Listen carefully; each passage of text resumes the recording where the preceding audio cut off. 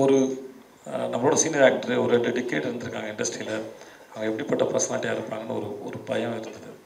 But வந்ததுலேருந்து அவங்களுக்கு அந்த சீனு கதை டிஸ்கஷனு நான் என்ன பண்ண போகிறேன் இவர் தான் குவாக்னா அவர் என்ன புரிஞ்சிருக்காரு? அப்படின்னு மொத்தமாக இதை இந்த ஃபில்மை அண்டர்ஸ்டாண்ட் பண்ணிக்கிறது தான் அவங்களோட மோஸ்ட் ஆஃப் த கொஷின்ஸ் அதோட பார்ட்டிசிபேஷன் அதுக்குள்ளே தான் இருக்கும். ஸோ எனக்கு அது அது இன்னொரு ஆக்டர்கிட்ட இருந்து எஸ்பெஷலி லீட் ரோல் பண்ணுற இன்னொரு கோ ஆக்டர் இருந்து வரும்போது அது அது it makes more comfortable that எப்பவுமே ஒரு வேலை செய்யும்போது ஒரு ஒரு மைண்டோட இன்ட்ராக்ட் பண்ணி பண்ணும்போது அது ரொம்ப நல்லாயிருக்கும் அது அது பெரிய கம்ஃபர்டபுளாக இருந்தது கட்டினோட ஒர்க் பண்ணும்போது. இதே மாதிரி எனக்கு இருந்தது. சீரியஸா சார் கேட்கவே பயமா இருக்கு. இல்லை எப்படி பண்ணீங்க? நான் நான் ஃபஸ்ட்டு சார் எனக்கு செப்டம்பரில் கதை சொல்லும்போது எனக்கு நான் துபாயில் ஒரு மூணு வருஷம் வேலை பார்த்ததுனால எனக்கு ரொம்ப நாள் டச் விட்டு போச்சு. அங்கே அங்கே ஹிந்தி பேசுவாங்க.